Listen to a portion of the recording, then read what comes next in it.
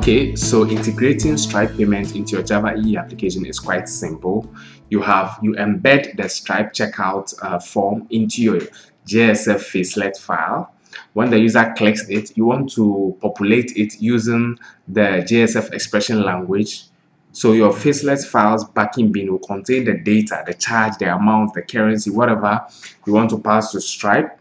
Your your payment uh, backing bean, your your checkout backing bean will have that data and then you are going to use the expression language to get that data dynamically populate the form and then when the form is submitted by the user when the user fills in their credit card or debit card details the form will be submitted.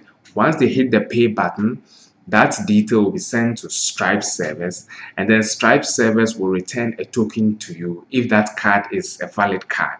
Once the card passes Stripe's validation basic validation the token is returned to you. The token is a representation of the card detail that you sent, the user card detail that you sent to Stripe. Fine. So once you send that token to Stripe, once you send that detail to Stripe, Stripe returns a token to your application, and then that token will be appended to as a heading form to the form that you have in your Facelet file. That Facelet file will then be submitted to your backing bean then we used Omnifaces to actually grab that. We used Omnifaces to grab the Stripe token uh, parameter that was passed there, that was passed to our backing bean. We used Omnifaces to grab it. We injected and grabbed it. Then once we grabbed the Stripe token, we use the Stripe token to create a charge object charge the customer's uh, the credit card details or debit card. That was that is with stripe. And then once payment succeeded we direct the, the client to the the success page. So let's run through that workflow and see. So this is the checkout page. Let's hit the button to go to the checkout page which will take us to the checkout page where we embed the stripe the, the stripe uh, api the checkout api so let's let's take a look at that the the checkout page is here. And then we have embedded this is it the checkout page.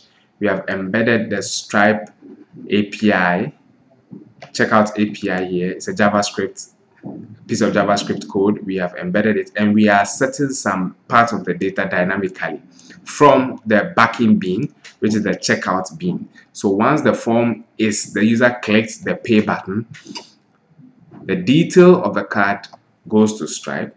Stripe returns us a token which we grab here. And then if we have a valid token, then we charge the card. So let's go and run through the motion again. Let's hit the button. So our email again, let's choose, let's say CEO at sorry, acme inc.com then the card is 42, 42, 42, 42, 42, 42, 42, 42. This is a sample card that Stripe gives us for testing. Good. Then the expiry date could be anytime in January, any any future date. So let's say January 20. The CVC could be any number 365. The postal code, valid postal code. Now let's hit the pay button. If payment succeeds and everything goes to plan we should be directed to the success page. So let's hit this. Then if it succeeds we should be directed to the success page. Okay so payment succeeded and we have been directed to the success page. Congratulations you just integrated stripe payment into your java e application Next up, let's go to the Stripe that my Stripe dashboard and see if this payment actually reflects in my Stripe dashboard. Now, also important to remember is the, the email we use. We just use CEO at Acme Inc. So let's go to my Stripe dashboard and see if that payment is there.